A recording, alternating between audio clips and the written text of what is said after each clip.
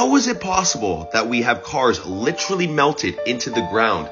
I know how they're going to attack. Think of a microwave. Frequencies. If you put a metal fork in there, it sparks and explodes. But if you put broccoli in there, it heats it up. The difference is the material it's made of. You cannot put metals in a microwave, high frequency device. Now let's talk about this direct energy weapon. That's a high frequency device, melting all the metals, leaving trees behind. Hmm.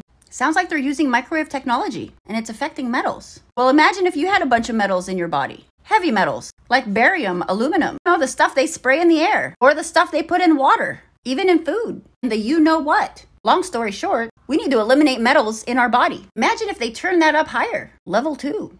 The more metals you have in your body, the higher the chances of you exploding, melting like those cars, catching on fire, sparking like the fork in the microwave. You need to detox from heavy metals right now. I did another video on this recently about a movie I watched. They use frequencies to disintegrate people. This isn't a movie, folks. We're test subjects. I saw a video about the people in Hawaii that were jumping in the ocean because their skin was burning. Wasn't burning because of the fire. It was from the frequencies coming from whatever it is they hit it with. They were cooking. Water in their body was cooking. And if they had a lot of metal in there, or if the frequency was higher, people would be just like those cars, disintegrated. Far fetched? Not anymore. I use frequencies to detox. I use mineral salts, cilantro under the tongue, onions on the bottom of your foot, rebounding on a trampoline. Stop eating crap.